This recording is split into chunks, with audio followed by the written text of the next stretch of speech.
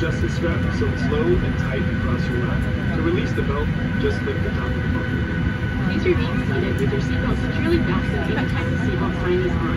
Even if the sign is off, keep your seatbelt fastened whenever you're seated in case of sudden rough air.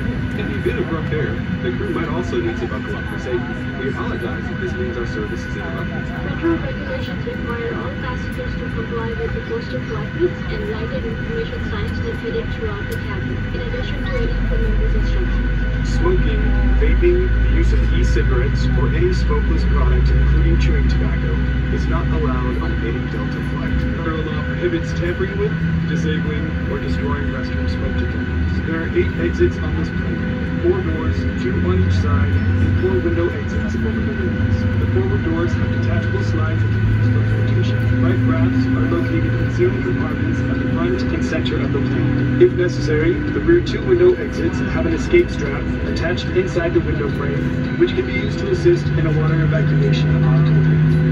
In the event of evacuation, leave all carry-on items behind. All exits are clearly marked with an exit sign. Please take a moment to find the exits closest to you, and remember they might be behind. If there's a loss of power, lights will illuminate the aisle to guide you to an exit. It's unlikely, but if cabin pressure changes, the panels inside the lavatories and above your seat will open, revealing oxygen this happens, reach up and pull the mask towards you until the tube is fully extended to start the flow of oxygen. Remove any face covering and place the mask over your nose and mouth.